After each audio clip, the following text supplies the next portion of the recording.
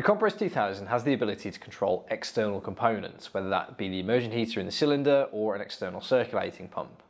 The heat pump itself though can only handle a certain amount of current, so we have to trigger those through a relay. And I've got an example of a setup here.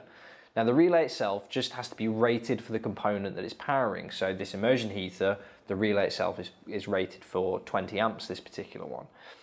So in short, how a relay works is there'll be a trigger from the heat pump and that will allow the fused spur to directly power the immersion heater, but it's triggered by the heat pump.